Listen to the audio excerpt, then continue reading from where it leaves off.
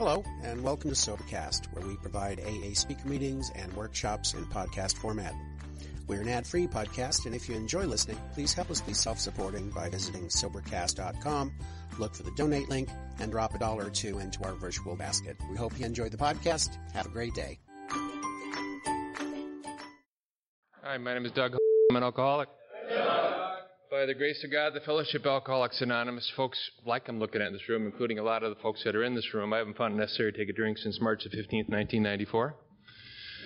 And for that, I'm awful grateful. Um, thank you, Chris, um, for um, asking me this afternoon to, uh, to uh, speak. My first thought when you asked me to speak was, Bob and Jerry and I came in town. And I met them in town on Thursday. Bob shared at uh, Sandy's meeting, and we, we and we talked Thursday night. Said, and I said how uncomfortable it would be if I ever had to stand in front of a podium at a meeting of Alcoholics Anonymous without having a shirt and tie on. So, Sandy, first off, I want to thank you for telling us at the very beginning that this was not an AA meeting. There is no AA meeting. There are no AA books. This is just a group of men who happen to be sober members of Alcoholics Anonymous so I can rationalize my behavior.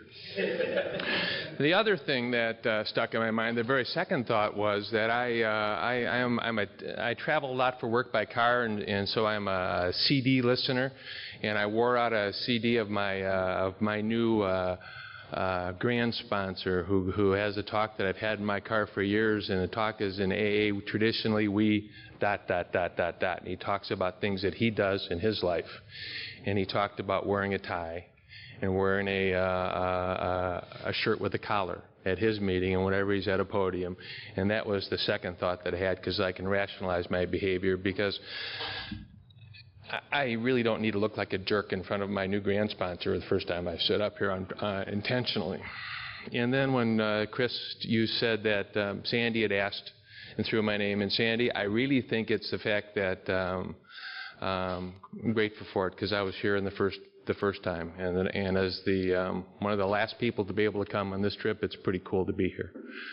Um, and it was fun, and it made me it made me feel good to be able to go back in that book and look at the pictures of us playing golf together. And by the way, they still owe us a coke, Sandy, in case I don't want to forget that. And then the other thought that I had is I told my wife last night, you know, and I called her up to do uh, say goodnight to her and told her about some of the folks that were here today and because uh, I have a lot of friends in this room, I have a lot of teachers in this room. Okay, I have a sponsor, a backup sponsor, some friends, somebody who invited me to something in his life yesterday. It was too fancy for words to talk about.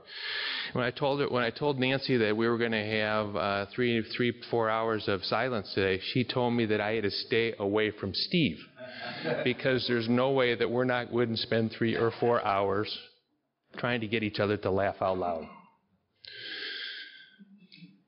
but I judge no one. Um, and Martin, thanks for running the campfire. You already talked what I had to talk about, about a spiritual experience. We don't know when we're living in it. The folks that are really having their experience are the folks that made this all possible for us. Amy, Dave, Chris, Chris, Peter. I think I got all of you. Guy, I forgot the CEO.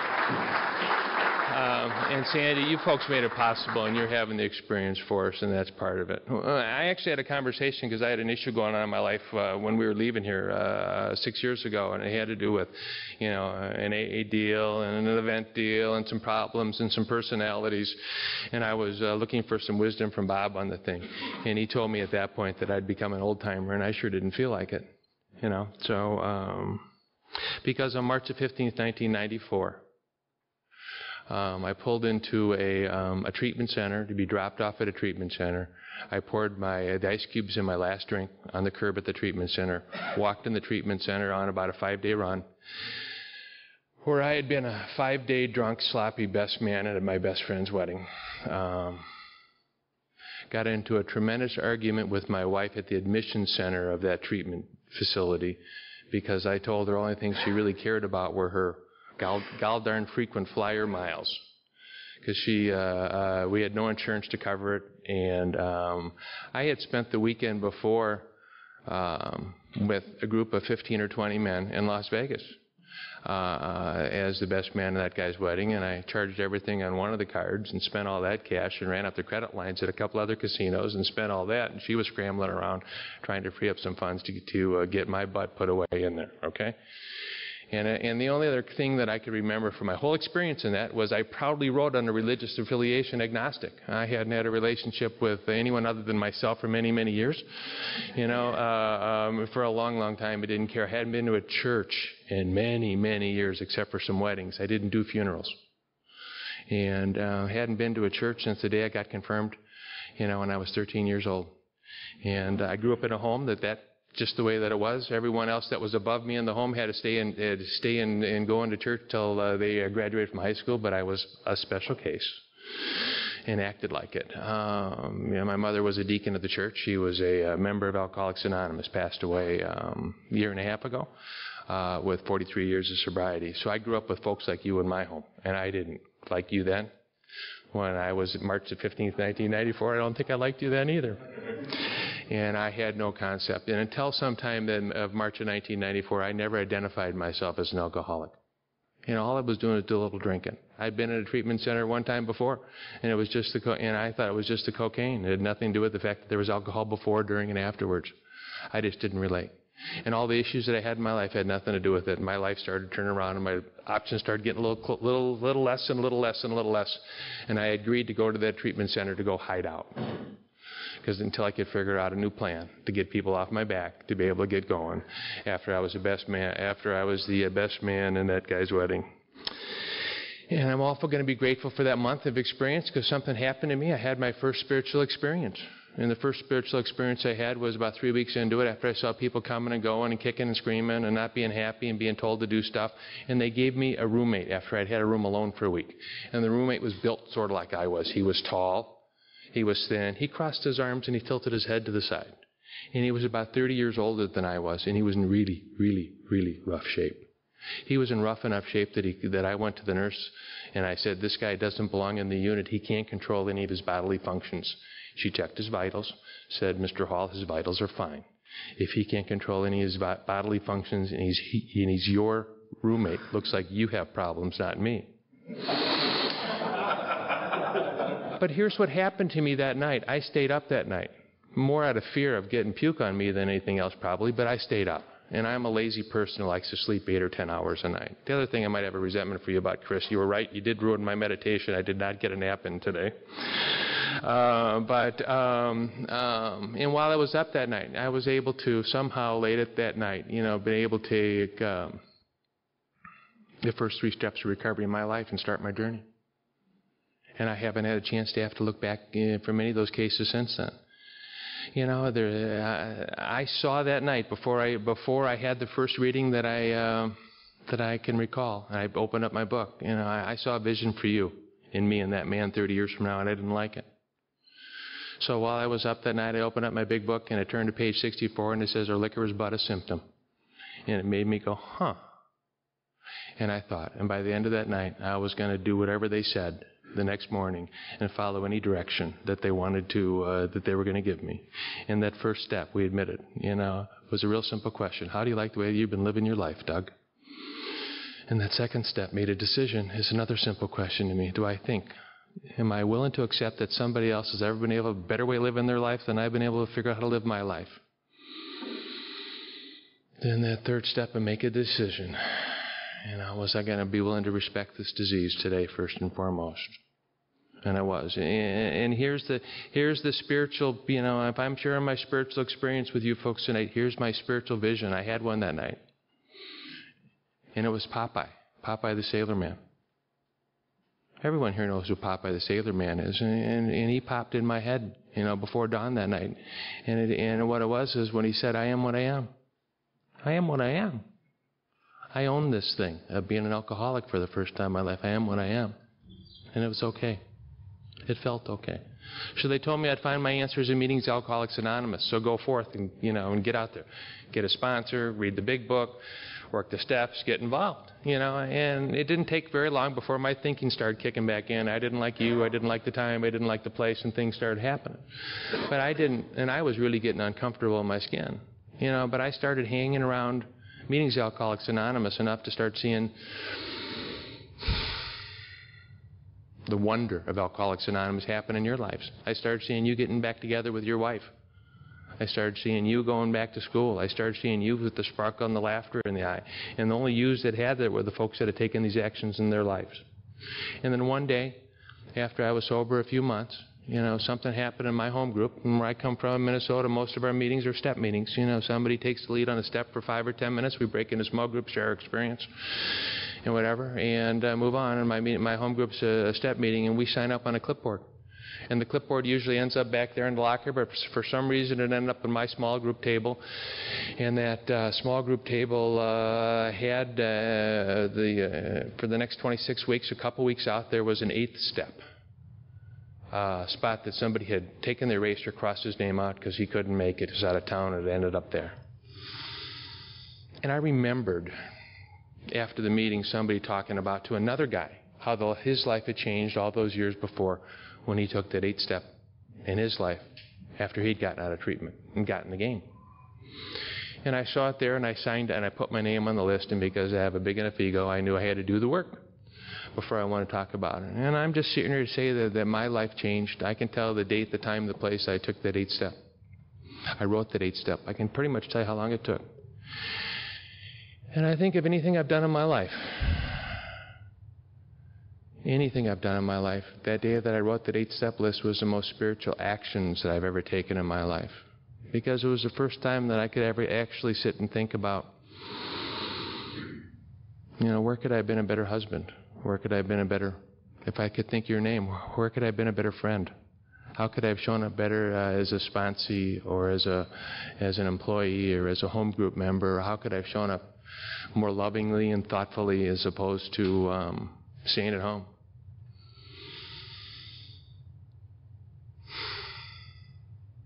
I went out of town that week, that weekend, with my wife. We had been married for at least a dozen years at that time. And uh, we were, it was before we all carried cell phones, obviously, and phone rang in the hotel room we were at. She was in the other room phone you know, she came into, uh, she came into uh, the uh, other room where I was at. She had a piece of legal paper in her hand like this. It was full of, it was full of women's names. And she said to me, I'm sorry. I reached into your briefcase to grab a piece of paper to write, your, to write a message down for you, and I saw this. Could have stuck it back in my briefcase you, you know, and not and not be the wiser of it. But you know, I'm trying to live my life on principle. Means Sue, I just want to let you know that you know I'm sorry. Didn't mean to take it.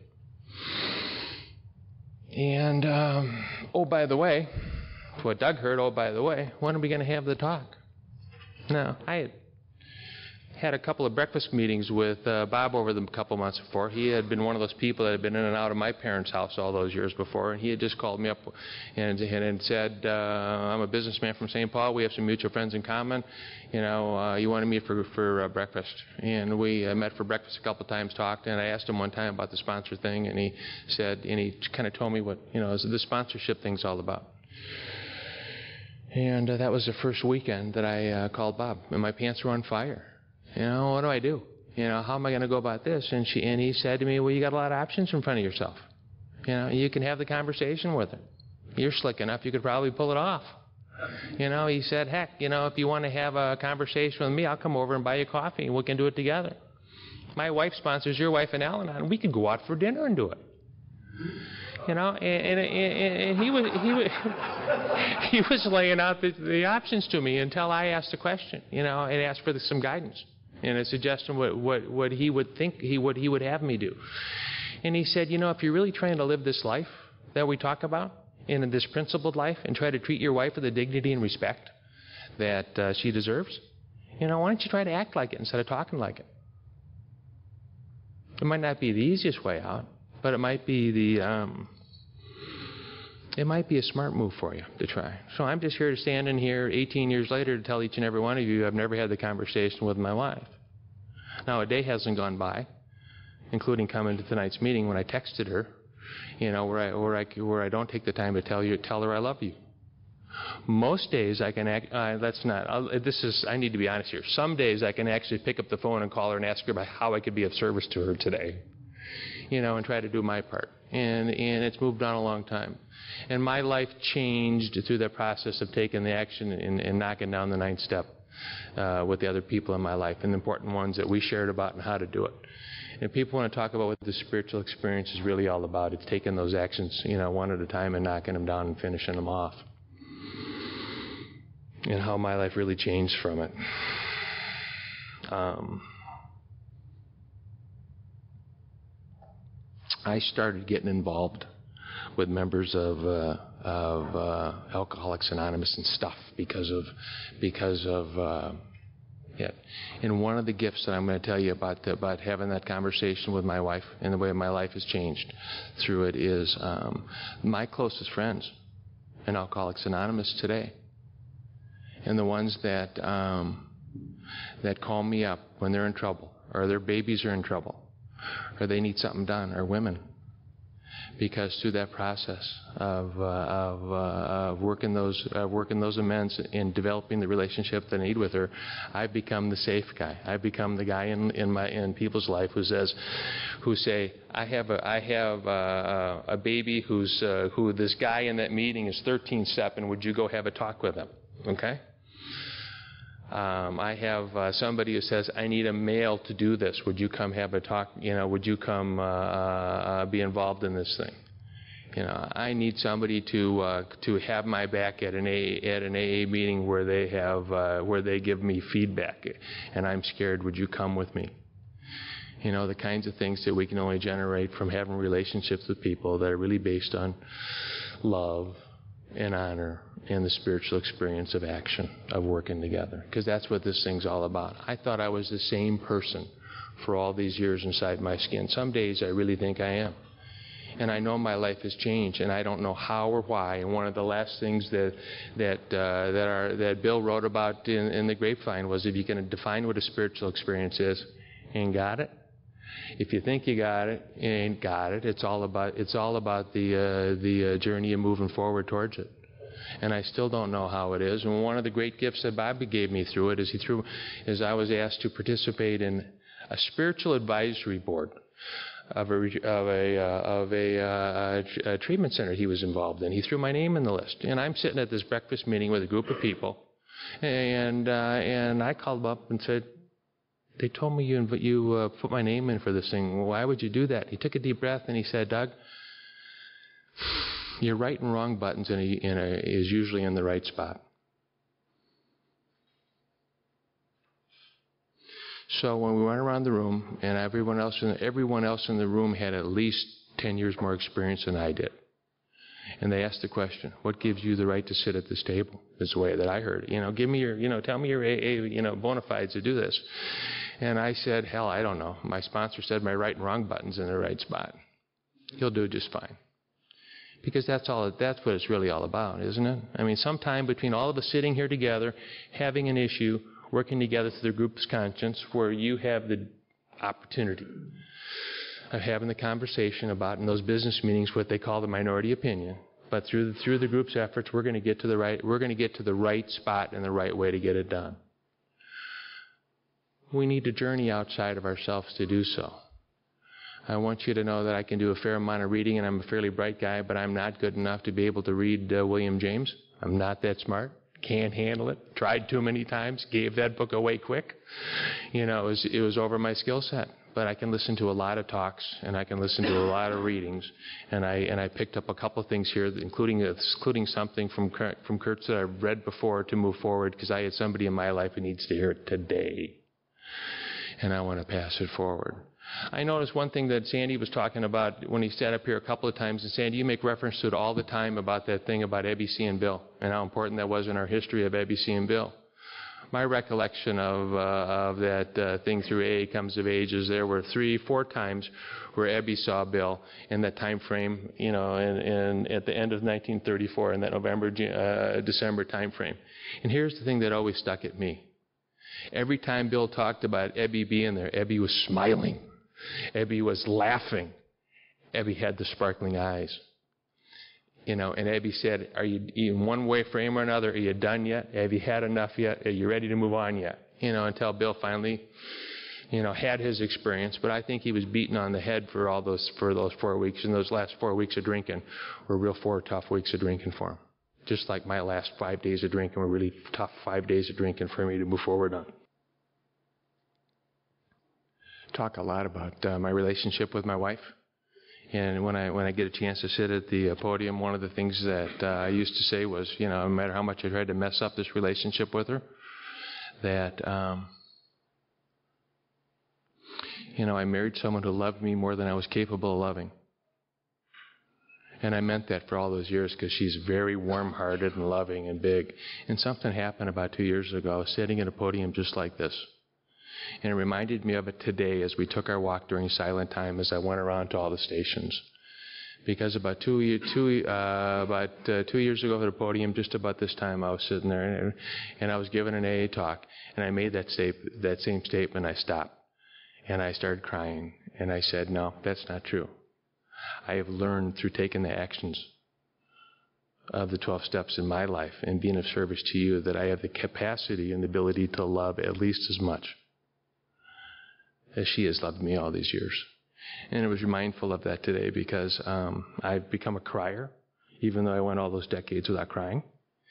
And um, I cried uh, when I read to uh, love rather than be loved today. And it was a very warm spot for me to, to feel it. I'm, gonna cl- I'm going to um, um, I shared with some guys last night here uh, um, on that same on that same topic, and it made me think about it. It was I was at an AA funeral this week, and it was an active member of Alcoholics Anonymous in our community that I was pretty close to, and boy, she kicked my butt. She kicked my butt for many many years. It was one of those joyful light things, and on the cover of the uh, of the uh, um, um, the uh, on the cover of the uh, funeral, you know, the the program. You know, there's a photograph of her, and she said, and she, and she said, "Sorry, I had to leave so soon. They needed help setting up chairs." Okay. You know, isn't that what the experience is all about? Being in the game, not thinking about the game. You can't take the steps for me. I got to do them myself. I got to take the actions for me. You can't, you know, you can't do it for me. I got to set the chairs up. He's got to turn the mic on. We all got to do the job. Otherwise, it doesn't get done. And through that whole process, Martin, what you were talking about today is, is something that, that's been, uh, that, that is, you know, that God's not lost. He's there. It's up for us to find Him. And if I've learned anything from taking the actions uh, of those steps in my life, and I've had the biggest growth opportunities from, uh, from uh, um, doing studies, doing step study work with men you know, and where we come from, where I come from, and where Bob brought up, I don't know, Bob, 18, 20 years ago, the uh, study guide, you know, from down in Texas, the Dr. Paul study guide the first time, uh, um, where you can sit around and, you know, agree to a format, spend 20 weeks together with a group of men, and take the actions, and um, you know, having a chance to do that, the, uh, the, the, the, the power and the strength of taking the third step prayer together the first time with a dozen men, you know, as we all know, is powerful. But the most important and strong message that I can leave tonight was I, I spent last year starting out on the first on the first Saturday of, of uh, the year and went through the first 20 weeks of the year with half a dozen men in my life doing the same thing. And I got all said and done. It was time to schedule, and I, we got in the middle of the inventory process. And after spending four weeks with an inventory process with a group of men, where everything's laying there, and I got all said and done, I called Bob up and I said, you know, um, I think it's time for me to do my fifth step, but you know, I don't know if it's going to be necessary. And he said, why is that? And I said, because there's nothing new on the damn list that wasn't there two years ago or four years ago the same people, places, and things are still on the list. There's a lot less today than there was two years ago, and there's less than there were four years ago. But the ones that are there are still the ones that have always been there. And if I've learned anything from my 18 years of sobriety is I don't have the power to remove those from the list. I know the actions I need to take. I need to have the courage of the conviction of the experience of taking, the, that leap forward to be able to remove them from the list for the things that I don't have the power to. Thanks for having me out this weekend.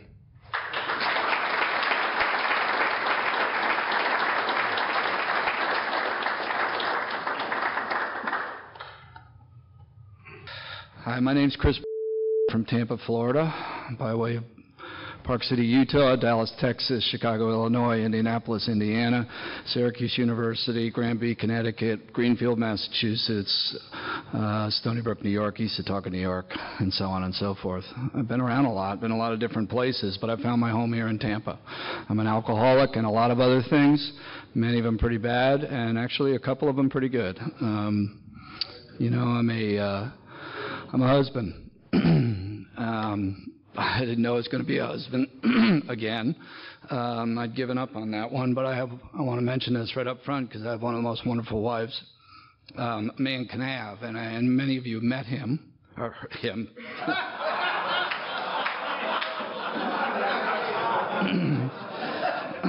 not not that there's anything wrong with that, but uh, met her happens to have the same name as me uh, with a teen at the end, so it's Christine. So if you ever see C1 and C2, I can tell you right now, I'm C2. Um, and uh, looking at this bed, I'm almost tempted to sit down in it because it looks pretty darn comfortable. I'm, I'm, so grateful for being here. I, I um, you know, this this uh, this session was something that Sandy uh, came up with, and I remember when we were first walking through the original. Um, agenda, and Guy had that classic moment of asking Sandy if he could review, if we could do a dry run of what he was going to do during the sessions. And in about uh, about a third of a nanosecond, Sandy said no. He said, because I don't know what I'm going to do during those sessions. And, uh, and that's been the truth. And this session, though, was about maestros originally. And, and uh, Sandy had seen a, a, a movie about, um, uh, was uh, flamenco dancers, I believe, in, um, in Argentina. And there was, he was known as the maestro. And so uh, he always likened this, this to, as the one that could dance just flawlessly and effortlessly in a way in which others just um, marveled at. And um, the first two maestros happened to be Scott Redmond and Bob Bizantz. And they're two of my most wonderful and favorite friends on the face of the earth. And Scott's not with us anymore, but we were even talking today. Um, there's a lot of people that have gone before us and are gone now.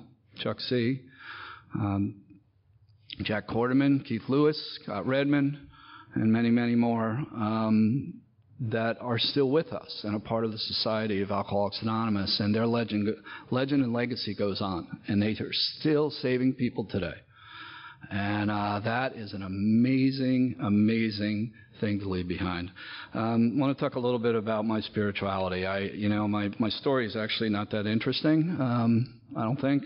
And Guy would tell you my fifth step was really not that interesting. It took me 12 years to get to it, but um, he was bored. So, oh, yeah, it wasn't very, very, very interesting. I want to talk about spirituality a little bit because that was really a struggle. You know, I'm a, I'm a Charlie Brown spiritualist. I, I was a Charles Schulz fan as a young kid, and and um, my parents went to um, an Episcopal church on Long Island. It was, gosh, built in the 1600s or something silly like that. And that was the coolest thing I thought about that church, that it, that it had a Revolutionary War slug in it. Um, but I didn't understand God at all. But I sat one day and watched Charles, uh, the um, Christmas uh, story with Charlie Brown, and Linus went through that talk about, you know, when Charlie Brown screams out, "Doesn't anybody know what Christmas is about?" And that's how I felt. I always felt that way. Doesn't, don't anybody know how fill in the blank is about? And when Linus got up there and read, uh, I think it was, I had to look it up, Luke 2, I guess 8 through 14, and um, it just, I had chills in my spine. And he walked off that stage just so matter of factly. That's it for me. And um, you know, I was probably I, could, I was probably seven or eight, and I just remember I had moments like that, and that's how my spiritual world has worked. And uh, I have a Christian background, but I, it doesn't. That's not uh, for me. It's it's it's still about uh, the journey. And uh, my my spirituality is highly personal, very very personal. And and I learned a while ago not to care what anybody else's was. Uh, it's not important to me. Um, it, I've got I've got no argument, and that's one of the things when I came back to my church. Um, I asked my minister about. I said, you know, I, I don't want to argue about any of this stuff. I said, I just want to. I just need help understanding because I don't I don't get it. I don't know if any of you had that experience, but that was my experience with God. Um, you know, my mother and father were, were uh, they were good church people. My mom, particularly, my dad, um, a wonderful man, a, a, drunk, and I came from a history of that. He died of alcohol poisoning at 60 years of age. Just dropped dead one night, and um, it was a shock to us. But we didn't talk about it much. I've got um, an, an, older brother who just celebrated 22 years. I, I, had my last drink on January 1st, 1990, and uh, so we've got a pretty good history in our uh, family of alcoholism. Um, so you'd think I'd know a little bit about it. Well, it really wasn't until I got to Tampa that I found out a lot about it. I, uh, January 1st, 1990, I, I, I, threw one of those Hail Mary Fox, foxhole prayers when I got pulled over after watching a day of football games, uh, and I had spent some time um, uh, for some things I'd done a couple years earlier that made me think what was about to happen when they pulled me over was about to happen again. And uh, I just said to God, please, please, God, don't send me back there, and, and I'll never, I'll never drink again. And um, and I, and I, I didn't get go back, and the, and the officer just came up and gave me a warning and sent me home. And uh, and that was the last drink I ever had. And I, I stumbled into AA about 14 days later, and I was scared to death. Uh, I didn't get it. I didn't like people. I was I was a runner, and I don't mean the kind that competes when they run. I just ran, and um, and that was the way life was for me. Um, uh, about that time, my mother got sick. My father passed away in 1985. Um, suddenly, my I had gone back to live with my mother, Granby, Connecticut, tiny little one-horse town, and uh, my mom got uh, ovarian cancer and I got the phone call on one of five kids. And I got the phone call at uh, at work, and um, and they said, you know, her biopsy had come back positive, and and she had ovarian cancer. They called us in to come talk to the doctor. He basically said she's got about three months to live, and uh, you know she was 59 years old, 58 years old, and uh, I was living with her at the time, and so I was the natural um, uh, surrogate uh, medical surrogate, and the oncologist took over. And this guy was amazing. He was an incredibly talented guy, and, and that was when I got my first experience with, with what good good hospitals, good nursings, and uh, the people that have that gift of being able to keep people alive. My mom lived for two and a half years, went through five major surgeries. She was all of about five two and about 92 pounds, and uh, I made about $18,000 a year and had five kids, uh, two her and a dog, and and she showed me uh, the way to live in a dignified life. And the night uh, before she died, I went to go talk to her, and we didn't know, you know, she was back in the hospital again. Went in and out a couple of times, and she was really getting frail. And and I um, I talked to her that night, and I was going to move to Dallas very shortly. I'd gotten a job offer, opportunity to move to Dallas. I kind of stuck around for a little while, made a deal with my company to stay in Hartford while while things worked out with my mom. And I went to go see her that night, and um, yeah, I was not a God. I was not a believer at that point. I, I didn't know what God was. I didn't know what He looked like, or what. I just didn't believe it. I tried all kinds of different uh, theological ways of trying to figure out what religion was and what what uh, what God was in my life, but I just didn't feel it. And that night, um, you know, this this frail little woman, I could see the absolute and utter peace in her eyes. She was 60 years old and uh, she lost her husband. She had, uh, as I said, five kids, and uh, and I left her that night, and and she passed away in the morning. And it took me a while, but there was something magical about that evening, and, and I didn't know it till about ten years later. Uh, and I was in uh, Chicago, Illinois, and uh, some things weren't going real well. And I, what happened with me right after I stopped drinking was I went to AA. I got scared. I kind of bounced in and out of meetings. I didn't really get it. Um, and I just got busy. And, uh, and, and if you're a runner, that's what you do. You just get busy. And you do whatever's in front of you, and you do it as hard as you can, as fast as you can, as far as you can. Um, and it, and it, and it kind of just lets time go by. And I went in and out of AA, and I, I knew the book pretty well, but I never really worked the steps too much. In 1998, I had a problem that made me realize, you know, these steps that I'd heard about, which I could talk to you about, which I knew about, which I could share about, I could tell you all about them, I hadn't done them yet. I hadn't had a real sponsor. So there was this guy named Mike. I call him Magic Mike today. It has nothing to do with the movie. He was about five foot four and about 130 pounds, and probably in his late 50s. I was in my uh, early 30s, I guess, late 30s rather, and uh, and he got me on a third third step prayer, and uh, and I could just couldn't get over that one. You know, it worked first two, first two, first two, and I got to that third step prayer, and I just didn't know where to go with God. What do I do with God in my life? Do I really believe I can turn my will and my life over to the care of God as I understand Him? And he said to me, he said, Well, do you think that uh, you are the supreme being of the earth? And, you know, being the incredibly humble man that I was at the time, I said, Well, of course not. How could I be the supreme being? And he said, Well, do you think that there's something that controls all this stuff? I said, Well, I don't know if there's anything that controls it. He says, Well, do you believe that it, it was put here for us? I said, Absolutely. Actually, I do. That I do believe in. He said, Well, there's your God. And he kind of painted me into a corner, and he, I had to admit to him that, yes, I was not I, there was definitely a power greater than myself. And that was the first breakthrough I had when it came to spirituality and understanding of God in my life.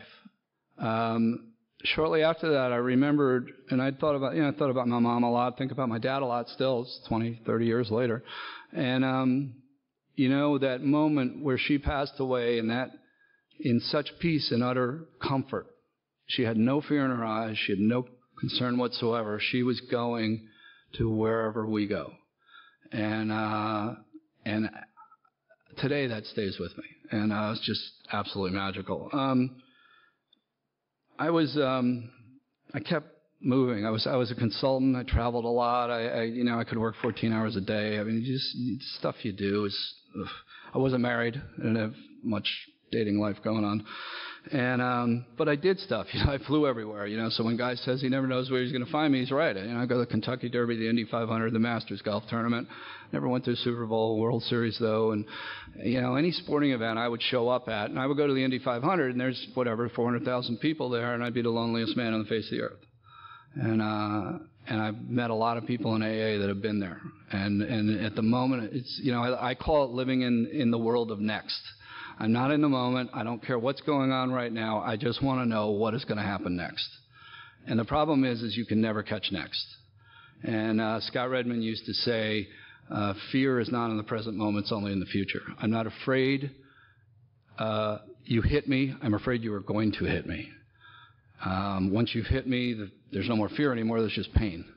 And, uh, you know, that, that makes all the sense in the world, right? And, and so I had to learn how to be with uh, spirit in my life that I could be satisfied with and sit and be peaceful with. I went back to uh, actually I got introduced to a church. I was I was at that point in 2000. I was actually standing. I get to see it every year. I was standing right in front of Macy's on 34th Street. I decided that I had to go see the ball drop because I'd never seen that, and uh, I was alone. I wasn't by myself. So again, I don't know, whatever, two million people and me, standing in New York City watching that ball drop on 1-1-2000.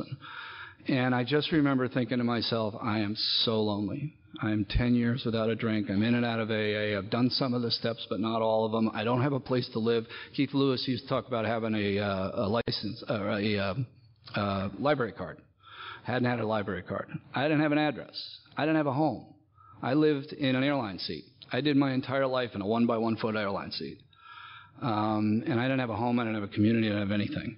At the time, I had started uh, working in Tampa. I was in living in Park City at the time, but uh, I had gotten a project in Tampa. Uh, I'd always wanted to move to Florida. I always figured I love the ocean. I love warm weather. I thought, well, one of these days I'm going to move down to the the East Coast, live on the ocean, and and it's going to be great. I went to Tampa, and I was thinking, Tampa, it's the East, it's the West Coast. It's got to be boring. It's kind of small. You know, why do I want to be here? And I found my home. I found my community. The thing about Tampa that absolutely shocked me, and my my sponsor, Guy King, is, a, is, is the example I use of this is there are communities there. There are generations there. That town has been there a long, long time, and fourth, fifth generation families all over Tampa.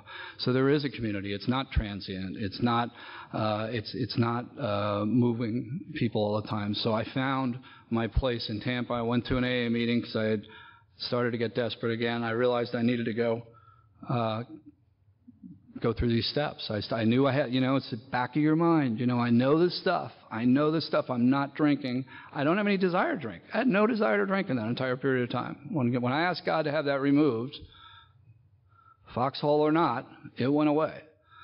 And um, but I was not living in a in a in a really comfortable spot. I'd I'd gotten relatively successful in business. I'd made more money than I ever thought I was going to make in my life, which wasn't much, by the way. But uh, but um, from where I came from, it seemed like a lot.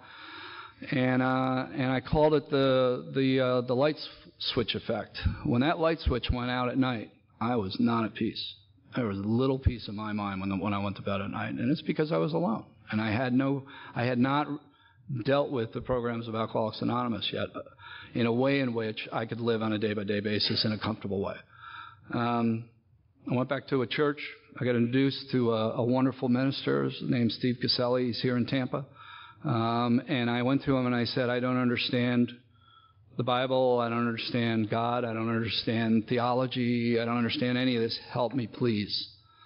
I went started going. He, I told him my story. So why don't you go back to AA? I did. Started going back to AA on a regular basis. I walked into uh, the Wednesday night Riverside group meets in uh, on Bayshore. Uh, one of Guy's main groups. Sandy was there, and I said I need help. I've, I've you know bounced around this program for 10 years now, and uh, and I've I've kept in front of it. I've run away, but I know sooner or later I'm going to blow my brains out if I don't stop. And I need I need to understand what is this higher power that Magic Mike had had uh, given me a glimpse of uh, a couple of years earlier.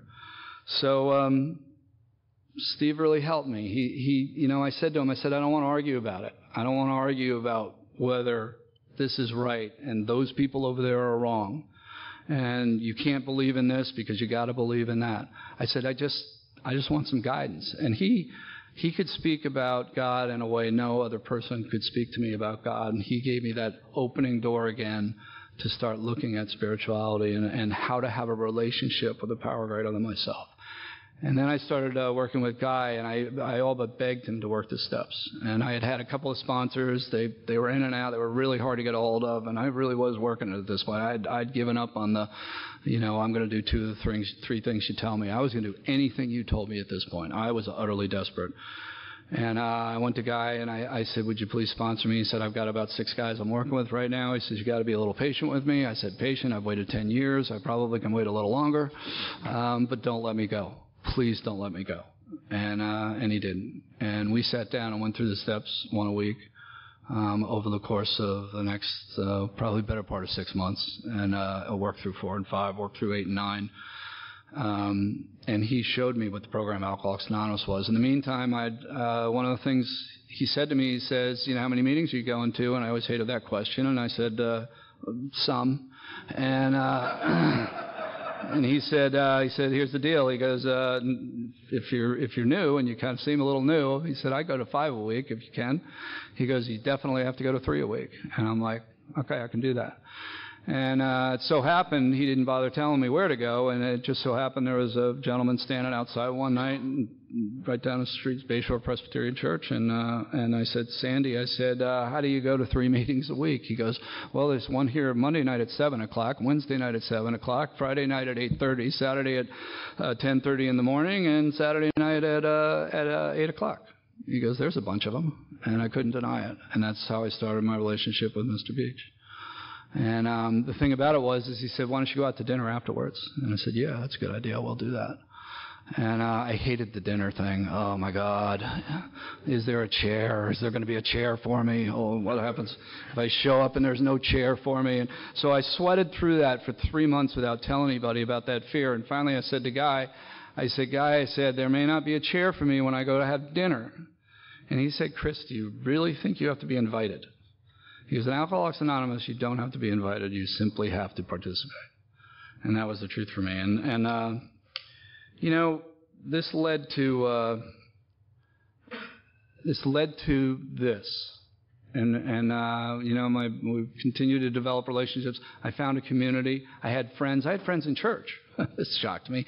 Um, 250 people. I, I've been there on and off 10 years now. I only have a handful of friends in those church, you know, in that church. And 10 years ago, I would have told you that's unacceptable.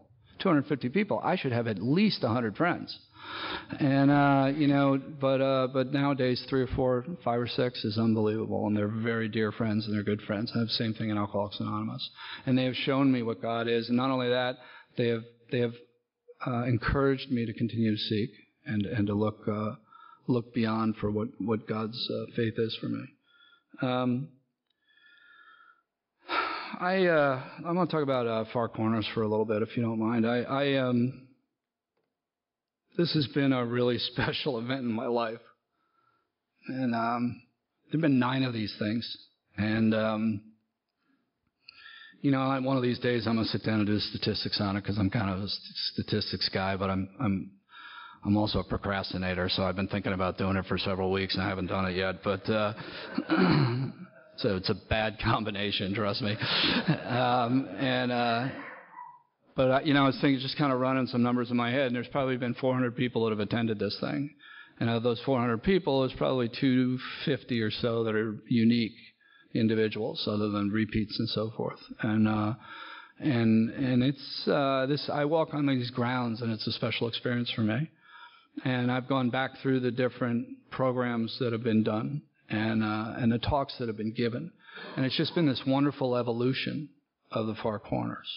And I love the idea of seek, uh, uh, seek, seek, and you will find. Um, and and I, I get that every time I do that that silent period, and I'm out there walking. Um, you know, lately I've had a lot going on, so I, I haven't had a whole lot of quiet time for myself. I haven't given myself and, and cut out the time that I needed to spend and, and understand how do I get closer to my God. And, uh, and Sandy and I have been talking about that a little bit lately because I haven't been that close to God lately. I've been so focused on other things. And I've been so looking outside to try to deal with the next problem that occurs that I've forgotten that God is with me all the time. And, uh, and it's, you know, I, I somebody and somebody recently was talking and, and we were talking about, uh, all the horrible things that happen. And I had a friend killed in uh, in 9/11, a childhood friend, and I I just it stuck with me. You know, it just stuck with me, and it's it's one of those, you know, how could God let things happen like that? And and I had a good friend of mine, and he just said, you know, Chris, he said, uh, we live in man's world, and uh, and it's not God's world. God's world is God's world. We're in man's world. And not, not, not everything perfect happens in man's world. And you know, I've met some unbelievable people in AA. And one thing I can guarantee you is, is every single one of them is a man and none of them are gods. And, uh, and they are all have their imperfections. And that's the beauty of this program. It doesn't matter how much sobriety you have, how long you've been around, and what you've done. You can, the, the reason why these, pro, why, these, why these rooms stay full is because we this doesn't go away. It's not like we stop needing it. Oh, I don't need AA anymore. It's not important anymore. I've, I've got it covered. Thank you very much. I will take it from here. Um, that's how I got here. You know, I, I, I wouldn't have, I wouldn't be here today if that hadn't happened to me. And now now I don't want to leave. And the other side of this is is that um, the Far Corners is an interesting experience because you come here and you go through this 36 hour period or whatever and I get to, I've gotten to a point on some occasions where I've felt as close to God as I ever, ever had been.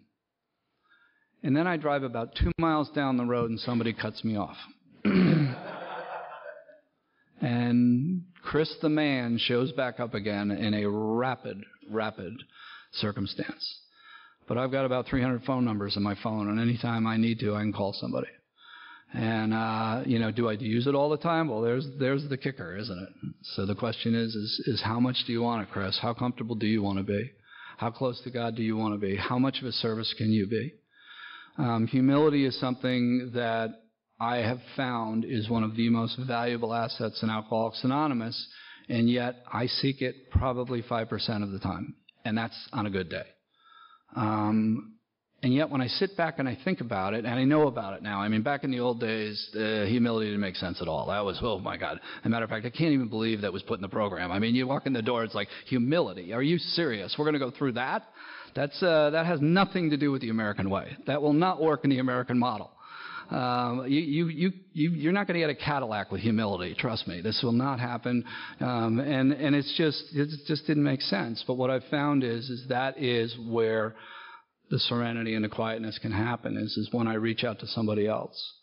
And I get out of myself and I stop worrying about whether how hard my day is going to be or whether I'm going to have an argument with somebody in my office um, or you know fill in the fill in the uh, X. I can think about the future and get all freaked out over financial situations.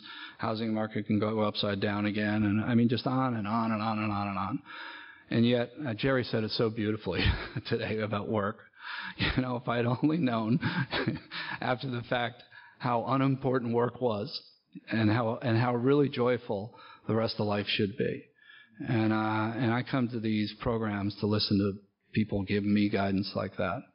And I'm so grateful that you're all here. I'm so grateful that you all came.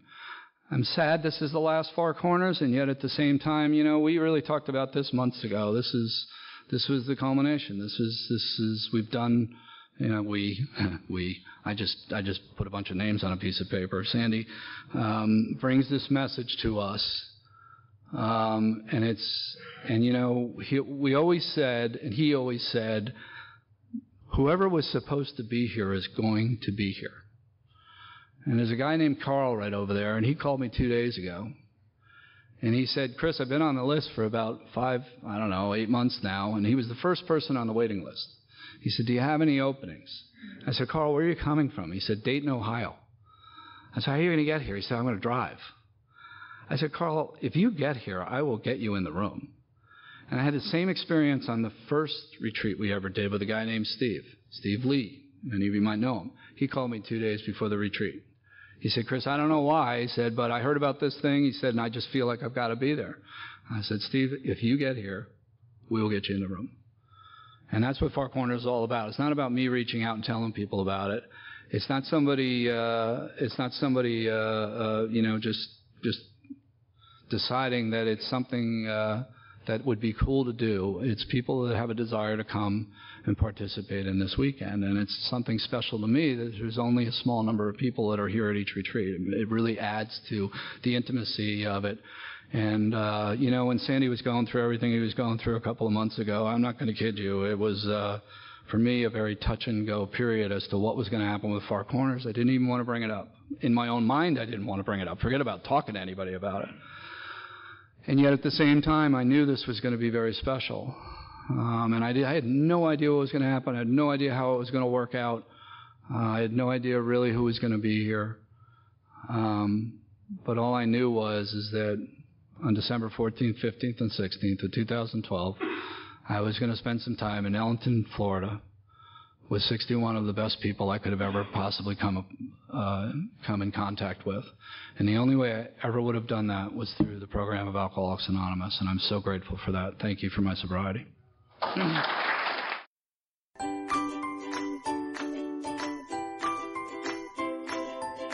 Thanks for listening. I hope you enjoyed the podcast. Sobercast is ad free, and we'd like your help in order to keep it that way. So if you'd like to help us be self supporting by pledging a dollar to a month, visit Sobercast.com and look for the donate links. Thank you very much.